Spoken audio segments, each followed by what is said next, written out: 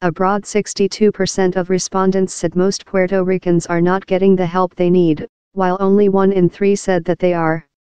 The results were largely split along party lines, with 80% of Democrats, 61% of independents and 38% of Republicans saying more help is needed.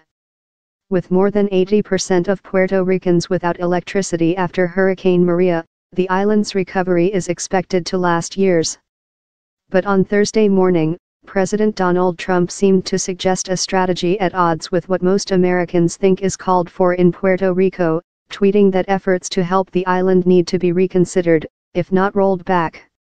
We cannot keep FEMA, the military and the first responders, who have been amazing, under the most difficult circumstances, in PR forever, he tweeted.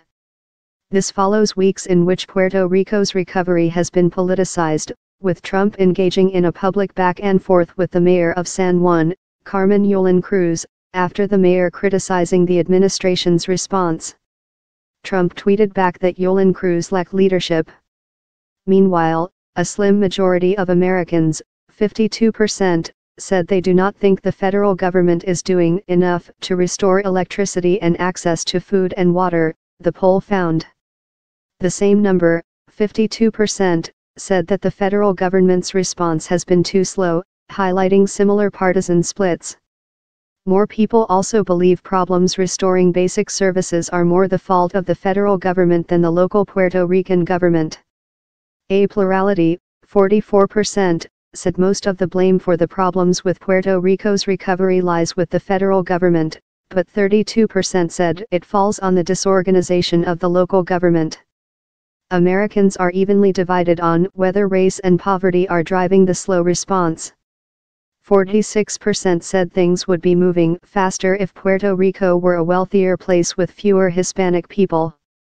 44% said poverty and ethnicity have not affected the recovery. The responses to these questions were also largely split along party lines. This Kaiser Family Foundation poll was conducted from October 4 to 8 among 1,008 adults. The margin of sampling error is plus slash 4 percent points. The poll followed a criticized event on October 4 in which Trump seemed to use Puerto Rico's death toll as a talking point for the island's recovery success. The total number who have died from Hurricane Maria in Puerto Rico is still unknown, but the total has increased several times since the event.